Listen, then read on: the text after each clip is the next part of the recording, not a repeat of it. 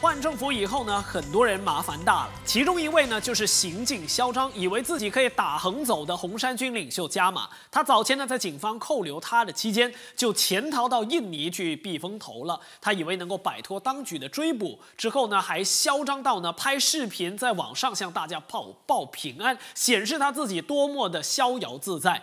只不过他太小看我国的警方跟印尼警方了。后来消息就传来，印尼警方早在七月二号已经逮捕了加马，而我国。警方接到消息之后呢，也立刻动身去到印尼办理引渡程序，然后今天就把加马引渡回来受审。加马的代表律师穆哈默英兰告诉媒体，当他接到加马被逮捕的消息之后，第二天就飞到印尼去，在印尼的警察总部和加马会面。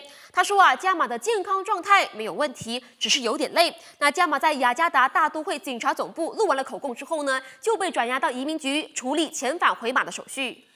加马原定在今天下午两点十五分会抵达吉隆坡国际机场，后来飞机就延迟了三十五分钟才降落。他一下飞机呢，就被警方押上警车，直奔雪州安邦法庭去面控了。雪州刑事调查主任就说呢，加马潜逃之前，其实他已经有九宗案件在身了，包括那个砸啤酒瓶的事件，然后被警方控上庭。他如今呢，再加一条潜逃罪，在刑事法典第两百二十四条文下被控，一旦罪成呢，可能会坐牢两年或者罚款或。者两者兼施。那今天下午大约四点左右，加马抵达安棒法庭。他穿着黑色上衣，头戴鸭舌帽。看到大批媒体的时候呢，是面带微笑进入法庭内。那针对潜逃罪名，加马他是否认有罪，而法官呢是禁止他保释外出，大概是怕他又再逃走吧。所以离开法庭之后呢，他就被送往双溪毛诺监狱。那加上目前这一宗案件，加马一共被十宗案件产生。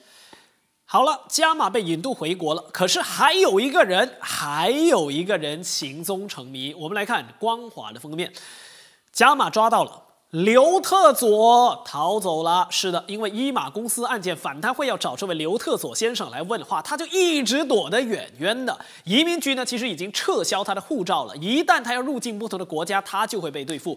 可是这个人呢，你真的不能小看他，他就是有办法。你看到现在，我们还是逮不住他。全国总警长福子就说，早前收到消息呀，说刘特佐人在香港，于是立刻派警员到香港跟进调查。可是当他们抵达的时候，刘特佐早就已经离开香港，到澳门去避风头了。所以最新消息是，刘特佐目前人在澳门。不过他怎么这么厉害，动作可以快警方一步呢？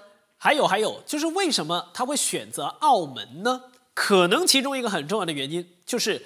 马来西亚跟澳门之间是没有引渡协议的，就是我国是没有办法要求澳门那一边哦想办法怎么样把刘特佐引渡回来的。这一点他选择澳门这一点，他比加马聪明啊。但是这一个反贪会的通缉要犯到底什么时候才能够回来我国？我想这个是大众引颈长盼的了。